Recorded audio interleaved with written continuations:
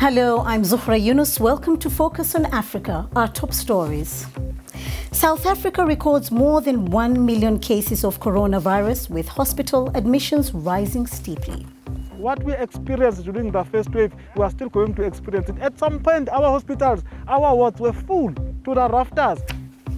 As vaccines to fight COVID 19 are rolled out across the world, we look at attitudes across Africa on getting the jab. They're counting the votes in Central African Republic, but was it an election in name only? Also in the program, Peter will join us with all the latest in sports. Could Barcelona captain Lionel Messi be heading out to play in the USA?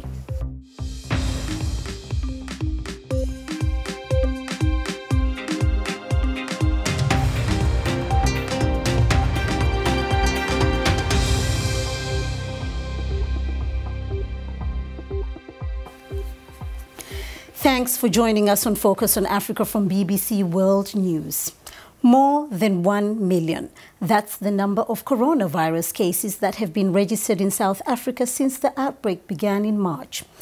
And it comes just a few days after the authorities confirmed that a new, faster spreading variant had been detected in the country, the worst hit on the African continent. Some hospitals and medical uh, centers have reported a severe rise in admissions. Frontline workers are already warning that hospitals will not be uh, able to cope with this new spike. The General Secretary of One Nurses Union says the country's healthcare system could collapse. What we experienced during the first wave, we are still going to experience it. At some point, our hospitals, our wards were full to the rafters. We were putting patients on the tents, on tents. What is going to happen now during the second wave, of which it is more dangerous and brutal compared to the, to the first wave. Before COVID-19, we've been complaining about gross shortage of staff and gross shortage of material resources. There's no different. There's no new hospital that has been built. I'm joined now live by Nomsa Maseko, our correspondent in Johannesburg. Uh, Nomsa, more than 1 million cases. Uh, it's news no one wanted to hear, right? It's news that no one wanted to hear, but it was expected, with South Africa being the worst hit on the continent with uh, coronavirus infections, it was bound to happen. And also the fact that there is still a lot of movement around amongst people because it is the holiday period. People are still going to want to celebrate New Year's, um, even though the president and all other sectors of the government have been warning against um, the uh, you know uh, public gatherings that are uh, have been identified as super spreader events. Any announcement by President Ramaphosa on restrictions trying to deal with the spread? Well, in the next uh, about 20 or so minutes, President Cyril Ramaphosa is expected to be addressing the country. This is a much anticipated uh, address by the president. You would recall that just a few days ago, he also made another address in which he chose the hotspots in the country and imposed restrictions only in those areas. But because this new variant is now spreading all over the country, chances are that the president is going to, uh, be speaking about a, a, nationwide strict lockdown and also the possibility that there will be a ban on the sale of alcohol is also on the cards because it's not just COVID 19 patients that are filling up the hospitals, but it's also trauma, which is uh, related to alcohol, crime, and also car crashes. Uh, in brief, can you tell us about uh, receiving COVID 19 uh, vaccine anytime soon in South Africa? Well, South Africa made a down payment about six days ago to the uh, COVAX Facility Fund, uh, and it has made a deposit for 10% of the population. As yet, we don't know when that vaccine will get here and who will get it first between the elderly and frontline healthcare workers. Thank you very much. That's our correspondent in Johannesburg, Nomsa Maseko. The new variant makes the need to roll out vaccination programs across the continent all the more pressing. But a question mark remains, even if this were possible, if an effective vaccine is made available, will people want to get it? A survey conducted by the Africa CDC shows that 79% of respondents in Africa would take a COVID-19 vaccine if it was deemed safe and effective. But the survey shows some significant variations in willingness across different countries, with 94% in Ethiopia saying they will take the vaccine. But only 59% in the Democratic Republic of Congo. It's worth bearing in mind that prior to the COVID 19 pandemic, Africa CDC had noticed a global decline in people wanting vaccinations in general because of doubts over their efficacy and safety and the spread of misinformation about vaccines. On average, 18% of respondents believe that vaccines generally are not safe, and 25%, that's one in four, believe that a COVID 19 vaccine would be unsafe. I'm joined now from uh, Plansburg by Dr. Vicky Baillie, Senior Research uh, Scientist uh, at Vaccine and Infectious Disease Analytics in South Africa. Uh, Dr. Baillie, you were part of the team uh, that oversaw the AstraZeneca trials in South Africa. Based on the results of those trials, is the vaccine safe? It is. It's definitely very safe. Um, so we vaccinated over two and a half thousand people, um, and in those people we saw one severe adverse event, which was basically a fever over 40 degrees Celsius, and then the participant took Panado, and overnight he he felt better, and that was the worst we saw in the trial. We're obviously still um, doing a lot of follow up visits with all of the participants to make sure that this stays the norm. Um, so we see them on scheduled visits um, sort of every second or third week. And as well, if any of them feel sick at any point, they come in and we do more illness visits and more um, testing for COVID. Uh, so, where do you think the mistrust comes from then? I think it was mistrust before we even started with COVID. Um, so you've always heard about the anti vaxxing. Um, and I think it comes from transparency and a lack of information that's given out quickly enough.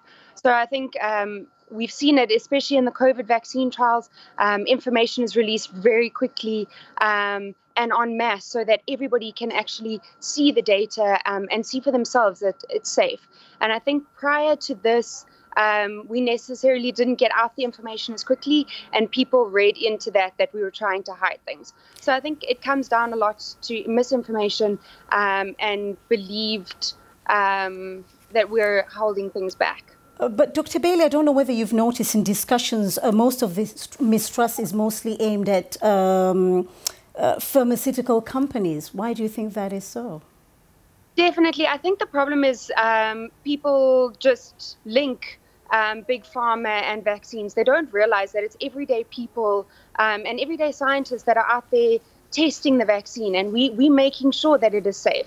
Um, I've got no vested interest in this vaccine. Obviously, we just we're doing it to try and, and help people and to prevent more disease spreading. So I think it's just people don't understand that it is everyday people that are actually testing the vaccine, and we're trying to get that information out there. So um, there's a program called Team Halo. Um, which is a United Nations led initiative um, that is promoting um, the everyday scientists that are involved in the COVID vaccine trials and other vaccine trials, just to try and allow people to see and put a human face to vaccine trials and make them realize that it's not only big pharma that's involved, um, there's a lot of other people involved that can be trusted. Uh, as you mentioned earlier, there were some mistrust earlier before even the pandemic. In your experience, uh, has the population or your community directly benefited uh, from uh, this vaccine?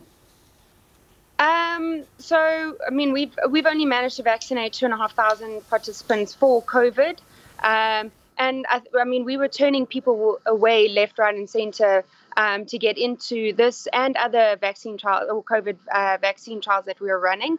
Um, but even before that, we've um, trialed a lot of other vaccines, and definitely the the community is starting to trust us a lot more, and they are seeing the benefits from vaccines. Uh, rotavirus was the perfect example um, of a vaccine that we implemented and sort of within a year we went from a hospital being overrun with gastroenteritis cases in infants to hardly any admissions so i think the communities are seeing the benefits of vaccines um, and i really hope that it's the same for the COVID vaccine. Thank you very much. That's the Senior Research Scientist at Vaccine and Infectious Disease Analytics in South Africa, Dr. Vicky Baillie.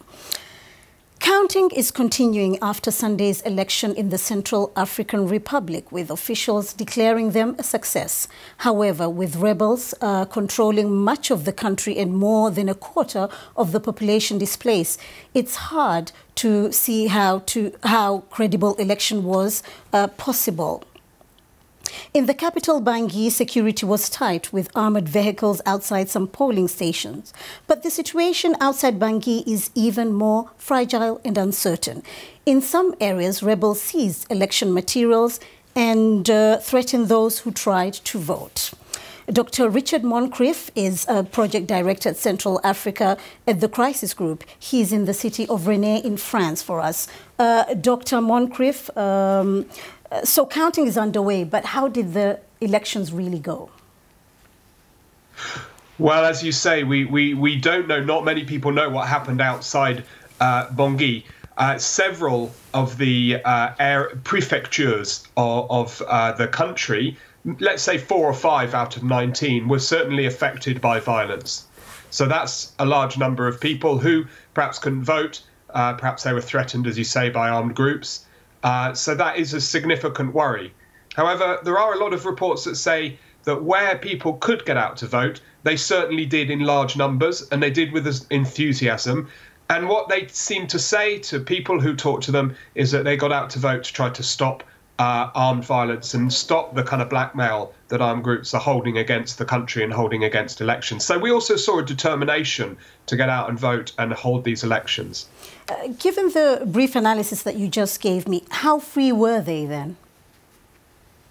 Well, I, I, think free. Uh, you know, they were they were free. I mean, people would vote for who they uh, wanted to vote for, right? So I, I think that kind of free and fair element is there uh, secure. Now, of course, that this really is difficult. Um, the opposition are likely to uh, argue that they were not uh, properly held because of insecurity, while the government will reply to the opposition, well, you know, we can't be held hostage to armed groups. We, have got to go ahead with elections. We have a constitutional deadline. A new president needs to be sworn in by the end of March. A delay would have been very dangerous. A delay would have been a more dangerous option. This is what the government and the United Nations would argue. So, free and fair, I, I don't think there's too much argument about that. But of course, anything between 15%, that's the figure of the National Election seat and 30% perhaps of the uh, electorate couldn't vote because of insecurity. So that is significant. We can't ignore that. Okay. Uh, Dr. Moncrieff, we heard reports of rebels, as we mentioned earlier, threatening those who tried to vote. What do you think will happen next? Well, it seems like elections have gone ahead. It seems like the government and all their international backers, including the UN, are determined to see the process through. So, Monday the 4th, we're going to have preliminary results. Uh, and if if it's not 50% for anyone, we're going to go to a second round. Now, the current sitting president enters this race pretty comfortably, partly because the opposition have not been clear in condemning what the armed groups have done over the next over the last few weeks. So that's given him an extra advantage. So he certainly goes into the race with an advantage. Now, whoever wins, there's going to be a big issue on the table, and that's how does he revive a peace process with armed groups when most of those armed groups, or, or a substantial number of them, ripped up that peace process only a couple of weeks ago, just one week before, uh, you know, ten days before the election. So that's what's going to be on top of his uh, his or her agenda uh, when he he or her gets voted, uh, get is inaugurated in March. Uh, thank you very much. That's uh, Dr. Richard Moncrieff, uh, Project Director for Central Africa, the Crisis Group, who's in France. Let's take a quick look at other stories making the headlines across Africa and the rest of the world. And counting is also underway in Niger, where voters are choosing a successor to President Mahamadou Issoufou, who's stepping down after completing the permitted two terms in office. It's the first democratic transfer of power in Niger since it became independent from France in 1960. Officials in Mozambique say the security forces have killed 37 Islamist militants in recent days. They also seized weapons used by the insurgents in the northern province of Cabo Delgado. Local media reported that at least six soldiers were killed in the clashes. Thousands of people have been killed and more than half a million displaced during the three-year insurgency in northern Mozambique. Across the world, extreme weather over the past year has been blamed for causing thousands of deaths and huge financial losses. According to the charity Christian Aid in East Africa, swarm of locusts ruined crops and vegetation. Floods in China and India alone caused $40 billion of damage, while hurricanes and wildfires in the US caused $60 billion in losses. The Ethiopian Human Rights Commission says the number of people killed in an attack on a village in the western state of Benishangul Gumuz last week has risen to 207, including children. It's not known who the attackers were. Ethiopia's Prime Minister Abiy Ahmed had visited the region the day before to meet with locals to discuss the resurgence in ethnic violence. I'm now joined live by the BBC's Kalkidan Yibeltal in Addis Ababa. Uh, Kalkidan, the death toll is rising. How is the situation there? What do we know so far? Uh, it, it's a very uh, tragic story, and that's a story that we have been reporting since September.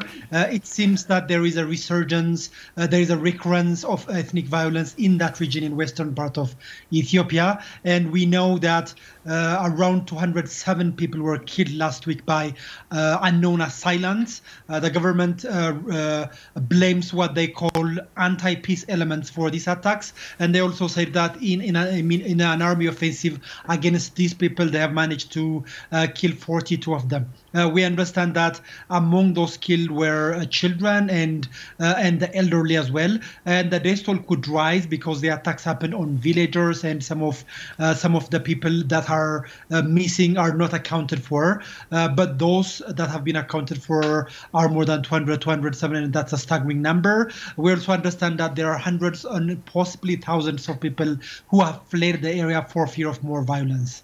Uh, Kalkidan, we know that uh, the Prime Minister Abiy Ahmed was there recently to discuss the ethnic related conflict. The assailants are targeting ethnic minorities. What more is the government doing about it? Uh, that, that's a question that everybody's asking now. Uh, as I said earlier, this is a, an area prone to violence. Uh, since September, there have been at least five such incidents uh, in which scores of people were killed. Many of them are ethnic minorities. That seems, uh, and it seems that they were targeted due to their the ethnicity. And what's what's peculiar in this situation is a day before these attacks happened, the prime minister, together with his top military and government officials, was there there uh, discussing with local officials and uh, the residents on how to solve this situation. So it, it seems that the, the, fact that this incident happened a day after uh, is emblematic that the government is not doing enough or sufficient uh, actions. It's, it's not taking sufficient measures to control this area, or it seems that the government is not in control of this area. Now we're hearing that uh, the military is deployed in this area and they are going to uh, take over uh, the, the, the security of the region. Thank you very much. That's Kalkidan Yibeltal, who's in Addis Ababa. This is Focus on Africa from BBC World News with Zuhura Yunus. Still to come. What is next for Lionel Messi? Could the Barcelona captain and superstar be heading to the US to play?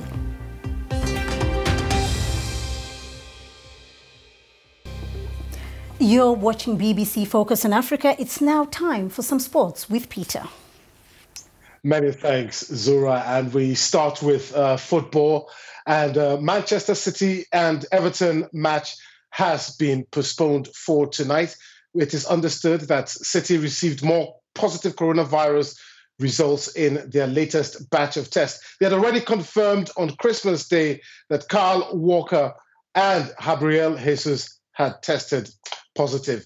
All the same, two other games have gone ahead today, starting with Leicester City going to Crystal Palace. The game ended one all. Nigeria's Kelechi Iheanacho started that match, but missed a first half penalty. Ivory Coast winger Wilfried Zaha scored for Palace. Chelsea are still smarting from their loss against Arsenal on Saturday. They're in action against Aston Villa at the moment. The score there is uh, still nil nil with just over 20 minutes gone.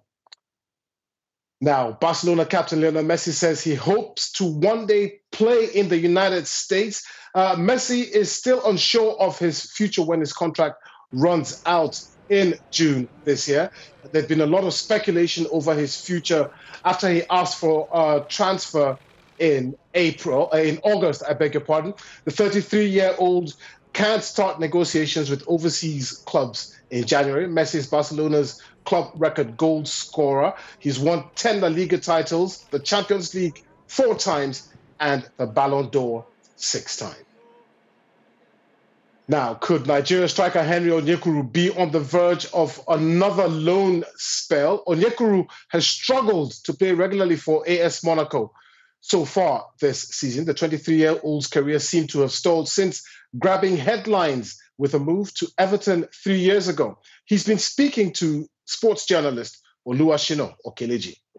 I had offers from top clubs, you know, bigger than Everton, but my first um, target was to play, not just to go to a big club. You know, I want to keep playing because I was very young then from Eupen. I just got into professional football a year before the offers, you know, so I was a little bit nervous and um, happy as well. You had offers, and then you had a medical at Paris Saint Germain. We found out Henry sneaked out of Paris quietly at night. Um, what really happened? I mean, you've had medical, you were set to sign the next day. Why did you leave? Um, I would say the, the word used, the perfect word, sneaked out. I wouldn't say I was um, scared to be there or to compete. No, I just needed at that point I was very young. I needed to play. I just want to play. You know, Galatasaray and Istanbul was a blessing. I mean, you won the cup doubles and everything. Things were looking up for you. Um, Nigeria called you for the AFCON in Egypt, but you didn't really get enough time. Were you disappointed about how how you were treated or how things went in Egypt? Um, disappointed? No, not really. I was happy at first, you know, to be there. Yeah, everybody wanted me to play. I wanted to play as well because I had a good season in Galatasaray, like you said, the cup and the, the league games and goals I scored there. So yeah, I was little bit. I won't use the word disappointed. Like in my head, I was going to play, you know, not to start all games, but to get more time, you know. But at, at the end of the day, is the national team, the coach decide. I just have to keep working and be ready when my time comes. At the age of 23, I mean, you are contesting with undoubtedly some talented players, like you pointed out in the Nigerian setup how significant and how important is it for you to actually get regular playing time to get a chance with the national team? It's easy to say, but at the end of the day, you have to put it in work. You know, work hard, keep playing, do your thing, assist, score, and uh, I think the rest will be free in the front here. Just score goals as a winger or striker or make assist, and um, don't get injured. Henry, um, it's an unusual 2020 for everyone in football. Um, how would you sum up your own um, season and the year 2020? I would say uh, a little bit disappointed, you know, the way the season went. Not just in football, you know, the COVID and everything, um, but uh, give thanks to God to be alive today to witness uh, Christmas as well. And um, hopefully, we hope for the best in 2021. Nigeria striker Henry Onyekuru there. Finally, tennis and six-time champion Roger Federer will miss the Australian Open for the first time in his career as he continues his recovery from knee surgery. The 39-year-old 20-time Grand Slam winner has not played since January because of two operations. He had hoped to return to the delayed Australia Open, which starts on 8th February in Zura, that's your sports. Thanks very much, Peter Okwoche, for all the sports updates. And don't forget, you can get in touch with me and some of the team on social media. You can get me specifically on at Venus Nyota. Well, that's all from the program. From me, Zuhura Yunus, and the rest of the Focus on Africa team. Goodbye.